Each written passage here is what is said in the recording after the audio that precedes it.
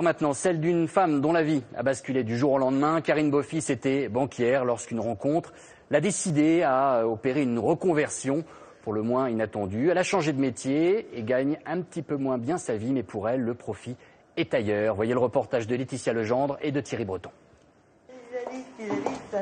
L'ambiance est détendue. Et ce jour-là, les volontaires ne manquent pas pour l'atelier Gym Douce. Si ces résidents viennent pour entretenir leurs réflexes, c'est surtout Karine Beaufils qui veulent voir. Eh bien, attention, tout le monde est prêt Tour à tour acrobate, danseuse, chanteuse, difficile d'imaginer cette animatrice derrière un guichet de banque. Alors ce soir, grâce à moi, vous allez faire des exercices qui permettront que cet été, vous rentrerez tous dans vos maillots de bain de pièces. Aujourd'hui, cette ancienne conseillère de 32 ans s'épanouit au contact des cheveux gris. Un public de seniors qui lui est acquis et qui a bousculé ses a priori sur le grand âge.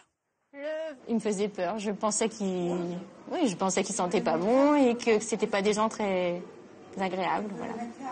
Et un. Aujourd'hui, ses angoisses sont parties. Depuis un an, son énergie et son sourire rythment les journées des résidents. Elle présente bien. Elle fait les gymnastiques. Adorable. Grand écart. Oh, oh, oh.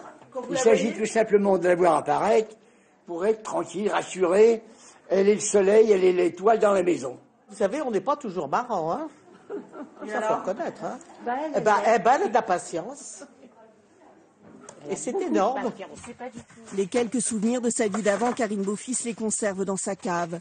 Pendant six ans, elle a travaillé comme conseillère financière dans une agence bancaire, jusqu'au jour où, après mûre réflexion, elle présente sa démission. Trop d'objectifs, trop de pression, du phoning, tous les mots en ing, euh, briefing, reporting, débriefing, phoning, tout ça, je, je peux plus.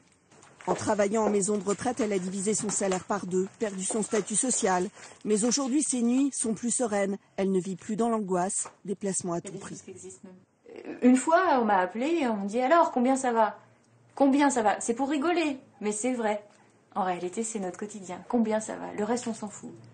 Donc il fallait Il fallait vendre. Aujourd'hui, combien d'assurance vie? Donc vous avez des objectifs et aujourd'hui, il faut que vous fassiez 10 000 euros de collecte. Vous vous débrouillez comme vous voulez, mais il faut 10 000 euros. Trois ans plus tard, Karine Beaufils ne regrette pas ses choix, même si les esprits des aînés vagabondent et s'oublient quelquefois.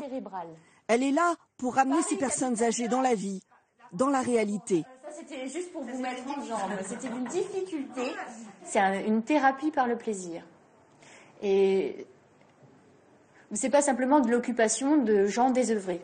C'est euh, de l'occupation qui permet de faire euh, évoluer, oui, de faire qu'une journée, ben, elle sera ensoleillée ou pas.